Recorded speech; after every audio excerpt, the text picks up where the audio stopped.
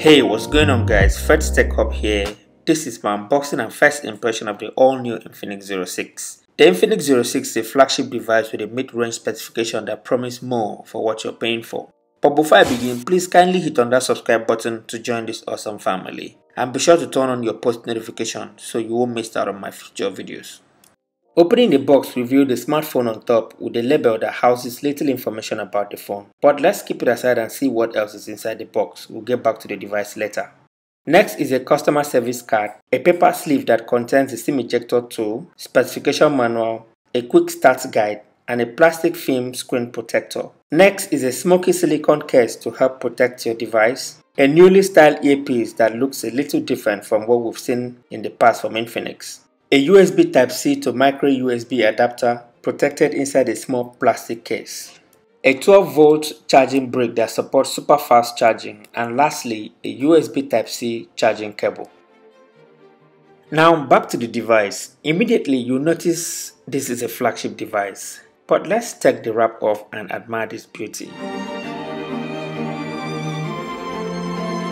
I want to say something here. This is the best looking device Infinix has ever released. It is stunningly beautiful and very attractive, especially from the back. The build quality is amazing, it is well put together. At 6.2 inch display, it feels compact and solid. The edges is polished in a shiny gold chrome finish and the glass at the back, though feels fragile, it is done right. So when it comes to design and build quality here, it is quite impressive and it befits a flagship device.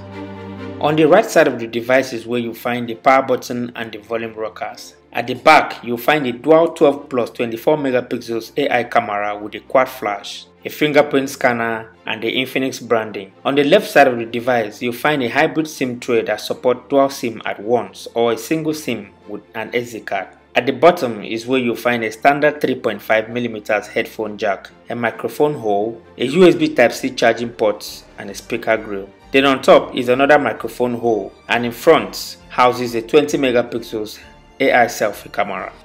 So after a quick rundown from the setup process, you are greeted with a very familiar display stating this is an Infinix device. The 6.2 inch Full HD Plus display is sharp with good viewing angles, though the software feels and looks dated. Like the familiar interface, but it is the 1080p Plus display that makes it up for the premium looking device.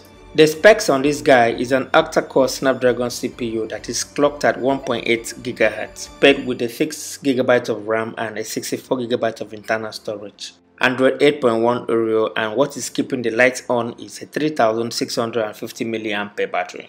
It feels responsive at best. The Infinix Zero 6 was supposed to be a 2018 smartphone and it shows up in the software. Trust me, it doesn't feel like a 2019 flagship. The CPU is from 2018, same with the operating system, and you'll notice it immediately. Infinix just announced the S4 recently and that device is loaded with Android version 9. So why version 8 on your flagship device? To me, I feel Infinix doesn't take the Zero 6 too serious anymore. Please, if you have anything to say about this, let me know in the comment section below. And hold on, there are so many things to like about the Infinix Zero 6. After all, it is their most expensive device till date. It comes with a super fast fingerprint scanner plus a Face ID, awesome camera across the board, and above all, the best design and build quality in its lineup. I took some sample pictures with it. So far, it is pretty amazing with good details. But I have to still put it through my thorough test in my full review. So you go through them and let me know what you think about it in the comment section below.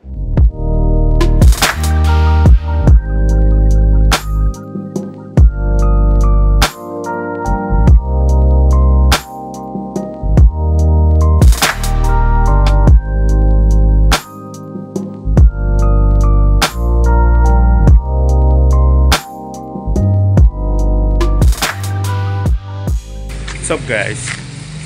This is basically what it looks like to shoot a video using the front facing camera on the all new Infinix Zero 6.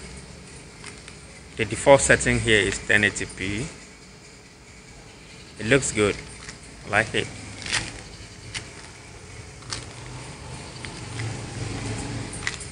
The Infinix Zero 6 comes with a 3650 mAh battery which is a huge downgrade coming from the Zero 5 which had a 4350 mAh battery. I believe it is due to a small form factor approach coupled with a thin profile that Infinix is trying to keep here. I'll still let you know how it performs during my full review. The Infinix Zero 6 is a noteworthy device that I can't wait to put it through its paces so I can give you my verdict. That is it guys, thank you so much for your time and watching. Like and share this video, share your thoughts with me down below and please don't forget to subscribe because if you do, it will help me a lot. Bye bye.